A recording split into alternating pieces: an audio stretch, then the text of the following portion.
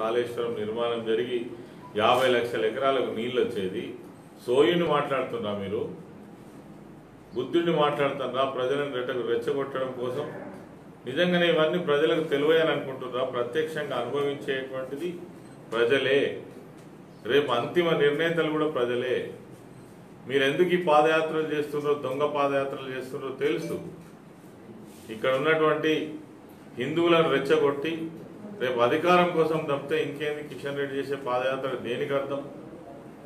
ఒక ఇష్యూ ఉందా? దేనికోసం చేస్తున్నట్టు పాదయాత్ర? పాత బస్తీ నుంచి ప్రారంభం చేయడం మీ ఉద్దేశం ఏంది? ఈ రాష్ట్రంలో మత విద్వేషాలు రెచ్చగొట్టి మీరు రాజకీయ లబ్ధి పొందడానికి తప్ప ఇంకా దేనికైనా దేనికి అర్థం కూడా కనబడతలేదు. కాబట్టి ఒకవైపేమో రేవంత్ రెడ్డి ఒకవైపేమో మరి బండి సంజయ్ బీజేపీ కాంగ్రెస్ ఈ నాయకుల యొక్క పాదయాత్రలు తర్వాత పెద్ద పెద్ద మాటలు.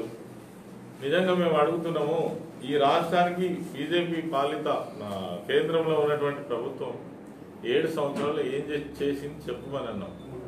విభజన చట్టాల్లో ఉన్నటువంటి ఒక్కటన్నా అమలు చేయడం కోసం మీ ప్రయత్నం ఏమన్నా చేసిండ్రా? లేదు.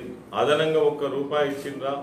ఏమన్నంటే నిధులు మేమే ఇస్తున్నామంటారు అబద్ధాలు చెప్తారు.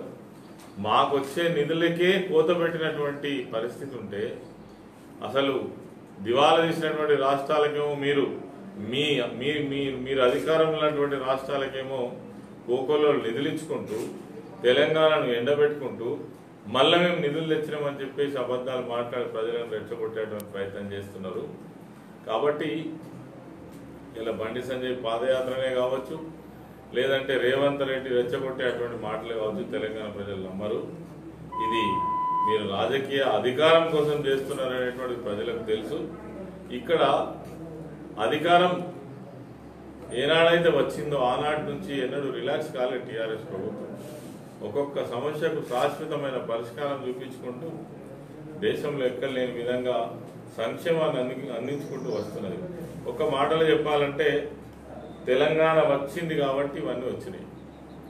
తెలంగాణ వచ్చింది కాబట్టి ఇలా బండి సంజయ్ తెలంగాణ రాష్ట్రానికి మరి రాష్ట్ర అధ్యక్షుడు ఆయన ఇలా రేవంత్ రెడ్డి కూడా రాష్ట్ర అధ్యక్షుడు ఆయన వీళ్ళు తెలంగాణ ఉద్యమంలో ఎక్కడున్నారు?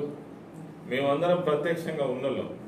ఒకరోజు అన్ని పార్టీల ఒక సమావేశం జరిగి మూకుమ్మడిగా రాజీనామా చేయాలని అన్నప్పుడు